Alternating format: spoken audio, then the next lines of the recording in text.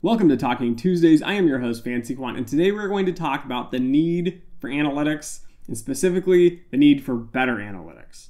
So let's just kick off with here, just to kind of get do- dove in here, right? Dive in here a little bit. Um, one of the big advantages we had as a startup was more or less our data and our technology, and we were vastly, vastly far behind many other industries but we were a little creative with things and we put a little bit of a spin on things, right? We made it happen. Um, but one of the big issues, I think, and this is where I feel bad for a lot of industries because they're struggling to grasp this and figure this out. And there are so many con artists out there, uh, and even people that have good intentions but aren't necessarily, I don't know, not experienced enough to really be providing advice, as we've seen in past episodes of this uh, podcast season here. Um, but for us, for example, in manufacturing and precast concrete, the fact of us using like web tracking back in like 2007, 2008, 2009, narrowing down our customers, like we already knew who our customer bases were, but testing that in marketing campaigns was huge, right? As you saw, um, again, we had positioning on our website. Our website was blowing up compared to the rest of the industry. Then we created bidding wars here where everybody's trying to get, you know, our company name as their keywords and they're paying again marketing firms to do this. So again, they don't have it internally. Um, just leveraging that data, and we didn't have that much data, right? I was vastly underexperienced. I had no idea what I was doing to start with here. As I've mentioned many times, right? I am not the data guy. I was not a quant then. It was before my financial engineering slash, you know, applied economics background, taking all this math and stats and really applying things and understanding it. Um, I was coming from that background of having like a business background, having an interest in analytics, and having some experience programming. So you need that stats piece. It's crucial. It's a big piece here. You need to leverage your data, and we did the best we could. But areas that we could have excelled more in was again that marketing space we were dominating. We could have done 10 times better if we would have had a little bit more budget. Um, perhaps a little more time. So again, everybody at the firm that we were working in here, we were all doing 50 million jobs, right? Like I'm trying to cover marketing and accounting and corporate finance, work with investors and operations, and our president's doing installations and sales and trying to run the business and manage vendors and then he's crossing over with my areas i'm like trying to meet with them to do you know marketing discussions and then we have this annual meeting coming up and he's presenting and you know, i'm trying to help with that and i'm covering it in the business and you know computers are going down issues are happening so we were scattered way too thin. Having more people would have been great, but we just didn't have the resources. Uh, but having that data, having that focus, I never really realized it until I got going in this startup of realizing, like, hey, we're doing things based on expertise, right? What has worked for everybody else. And the marketing component really spun us around where it was like we were driving to do the really expensive ads in the magazines here. Um, that's what our competitors were doing. And then competitors were all of a sudden wanting to get online and digital. So they're spending a ton of money on online marketing. And then we took a step back because we didn't have the budget. So I had to get a little more creative with this, which was, you know, trying to figure out who exactly our target audience is. How do we contact them, right? Again, they're not super tech savvy at this point. So trying to do this kind of guerrilla marketing campaign of just throwing out, you know, postcards and things, but trying to do it somewhat focused as well, trying to get in front of that exact person that's going to be decision making um, we had a fair amount of data, but we did not have it managed nearly as well as we could have had it managed. Okay, I didn't have great storage. I was using Excel, which is just laughable because it's hard to manage and store data. Again, if you use SQL, we could have done that. That would have been a lot easier. Um, I mean, R and Python, all that, they were around then, but I had never heard of them as much. Like they were kind of inkling in the backgrounds but I was focused on like C++, for example, HTML, CSS, PHP, things like that, right, on the marketing website. Um, but if we had better analytics, we could have driven the business far, far further. Uh, the other piece here that I always struggled with was the pricing made no sense. So again, uh, our president was an expert on pricing, makes complete sense. They know about where competitors are going to bid, and we try to bid near those. Uh, but really working with the accounting departments. So, again, you don't need to go out there and run and find crazy online data of people you don't know and do web scraping and all this, right? So, if you're in manufacturing, I don't know, you're in services, other types of industries, you don't need a lot of that data, right? You have a lot of data, you're probably just not leveraging it well enough. And if we would have had that, we could have done it better. But it was always a challenge for me on the pricing side. Right? I created a pricing, we'll call it a calculation. It's basically like a model there's some model components into it, um, but we could use past pricing and accounting They would update frequently throughout the system, and we could figure out exactly what things should have cost on the hard costs, like the you know cost of goods that went into it. But the labor piece was always a challenge to nail down, figure out. Again, using a statistical model, we could have probably figured out which operations director was the best. Uh, try to get a better person, use those models to kind of gauge that and judge that, and then nail down the hours in there, right? A lot of times you have a hiccup, parts are behind, cash flow issues cause delays, which also increases labor cost. So again, employees are sitting around, you're paying them, but at the same time, you're trying to kind of balance that. So it's a little challenging.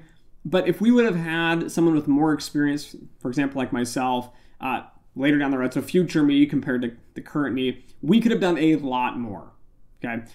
In doing this, so we would have had better, more accurate pricing. We could have, I was building supply and demand curves towards the end of it here. But the hardest thing was trying to get everybody on board, convincing management, you know, that we needed to do this, right? Convincing the president we can automate the pricing. You can still do your market gauge and try to figure out your expertise in it, but benchmarking that against this model of where we see things priced at today, where we see it heading towards the future, right? These things are important.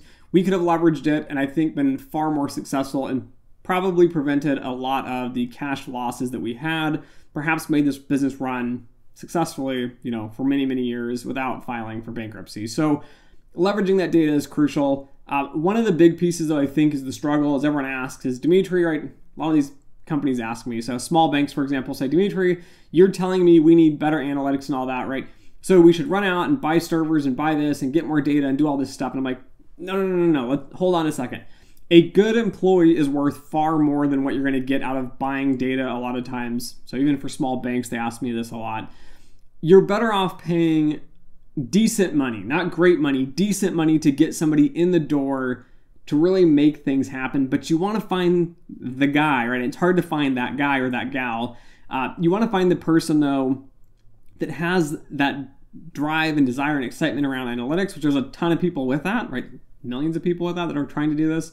But you want to find someone that has expertise and academic rigor. That's where the little bit of the the difference is going to come in at, right? You can find a lot of people again with undergrads, perhaps even masters, but I think masters for many firms is going to be that sweet spot, right? A PhD is going to be a little bit too technical. They're probably going to want a little bit too much money. Uh, the undergrad's not going to have that rigor to really drive things home. But if you could hire someone, perhaps all stars in an undergrad, or try to get you know some really good master students, bring in a handful of people and really utilize their expertise in statistics, for example, to figure out the modeling to drive your business. And half of the struggle is going to be collecting the data. So you need people that are dynamic that can collect the data, store it, put it somewhere for you guys in some files, for example, be able to pull them off of servers if you have that set up, and then be able to really use that data to drive the business. And so again, the big piece here, the hardest piece, and I'm going to tell you guys is hiring good people. Uh, one of the other tactics is if you can find an all star manager, so someone that's done this before, that's an expert on these things. Like, for example, when I go to hire people, right, or I talk to people, I can spot fakes and I can spot genuine geniuses fairly quickly because I've been doing it for so long.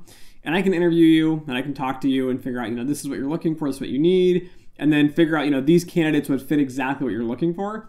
But often, I think now with data science, machine learning on the scene, everybody's dumping a bunch of money in this. They're throwing money at it, and you hire a bunch of unqualified people at a very low rate each, but the total cost is going to be too expensive. So you're better off hiring somebody 80 to 100,000, 80 to 120. Again, for an analyst, for managers, you might be looking at you know upper hundreds, if not in the 200s, maybe 300s. Um, but again, finding somebody that's an expert on this that can bring the team together and really drive your data. Again, storing the data, gathering the data, and then building these models and solving business problems is very, very challenging. But we have a significant shortage of these sorts of people. Okay. So I'm going to make this clear here, right? I see a lot of people going out saying, I got a data science degree, I got a machine learning degree, I got a stats degree, I got this degree, that degree, right? But they just don't have the rigor. A lot of these programs are now catering, especially in the master side. Uh, how do we sell somebody a master's that's a year, year and a half, and we're just going to do it quickly? We're going to charge them a bunch of money, give them a few skills, and send them on their way. Uh, we just don't see the academic rigor a lot of times. And why does this matter? So I'll just kind of wrap this up here with this example. Right, I've seen model developers that are just all stars, that are excellent. Again, no one's going to tell you this because they work at a firm in the back office. They're just building models, for example, like myself, uh, or validating them or whatnot.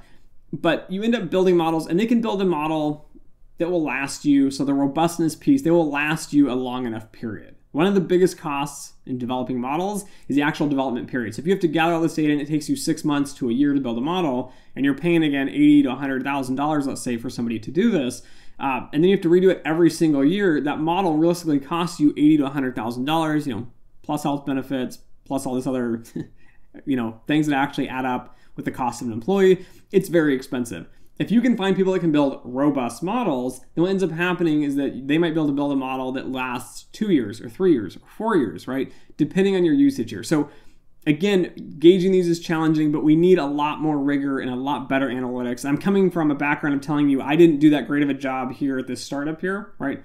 I did better than most people in the industry, but at the end of the day, I didn't have that full set of skills to really make it drive and accelerate here. Uh, we need that sort of rigor kind of driven into the business as well. Looking for those good hires, making it happen is important. And again, accuracy and defining your problem is something else that's important. So we talked about robustness, uh, accuracy. Again, if you're going to do data science, machine learning, you will overfit 99.9% of everything you do. It's just how it's been done here, especially when you have inexperienced people. Now, I've seen great data scientists, so don't get me wrong, that will build robust models with great accuracy and great robustness, but there's always some sort of trade off there. And then that third piece is business insight, business intelligence. If the business or the person doing the modeling can't figure out how to properly structure the problem to start with, no matter who you have building those models, if they don't get it or they're not building the correct model for that correct space, uh, it's not going to do what you want. Okay, so defining the problem, looking at any assumptions that must go into this. I see so many people just skipping over assumptions and making them, and then like oversimplifying problems because it makes the modeling easier that's a huge failure on the quant side, the stat side, the analytics side, the business analyst side. Um, but again, understanding that problem deeply, talking. So again, I've done this a lot, right? I have not worked on the business side for a lot of like my career in finance and banking, uh, but I sit down with these people and I try to really understand what are you doing, how are you doing it. And I start asking questions, and I seem stupid often because I'm asking questions I have no idea like how this is done. But trying to get that really good depth kind of involving them along the way, understanding things from their perspective, as well as listening to your data and getting that balance of, you know, factual data, what's the market doing, what things, you know, how things really exist, and then balancing that against, you know, looking at the business side, the expertise, and you know, kind of an example here to wrap this whole whole podcast up here uh, is really looking at it. And like when I was in a bank, I remember building a model, and you have interest rates that are all highly correlated with this project I was working on, which had to do with mortgages.